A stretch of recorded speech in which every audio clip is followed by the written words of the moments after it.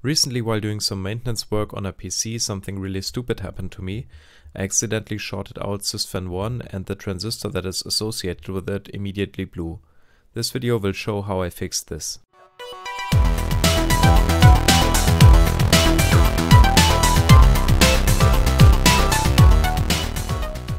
What happened was that I had a loose SATA cable which accidentally made contact with the sysfan1 and it shorted it out and the transistor immediately went up in flames. Because it's so heavily burnt, without a microscope it's not even readable what part it is. But under the microscope I was able to make out that it's a P06 P03 P-channel MOSFET. It's a MOSFET in a SOT89 package. Because this part is rather hard to come by, I'll replace it in this video by a IRLML5203, which is also a p-channel MOSFET, but in a SOT23 casing.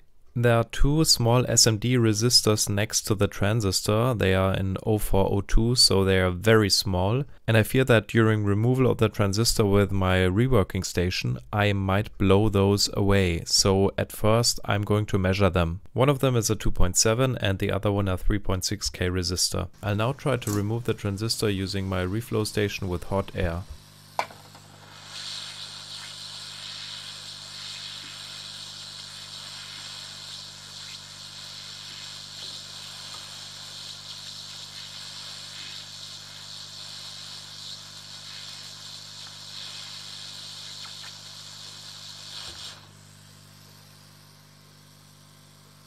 As you probably noticed, this went pretty horrible because I didn't remove the transistor, but only the package. Under the microscope you can actually see the exposed die now.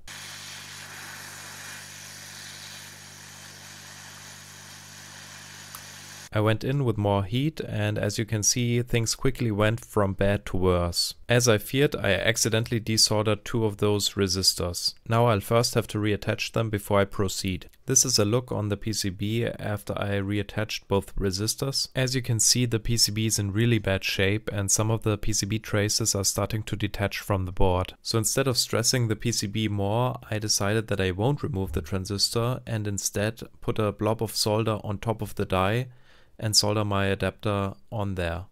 This is a look at the adapter board I'll be using with the SOT23 part on top. I first tack the SOT23 in place. Here's what it looks like after it's been tacked down.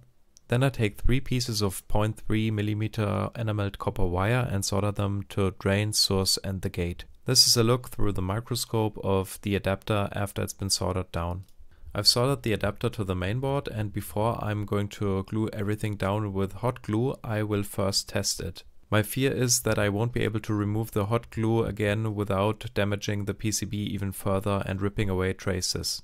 Again a look through the microscope where you can see how I soldered the traces on.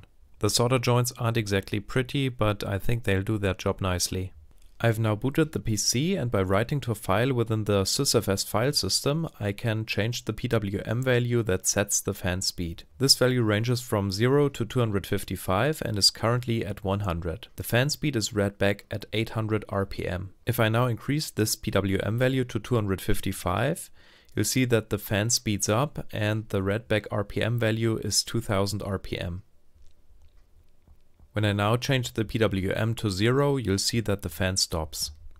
The only thing left to do now is to gunk up everything with hot glue really well so that the traces don't accidentally rip off during use.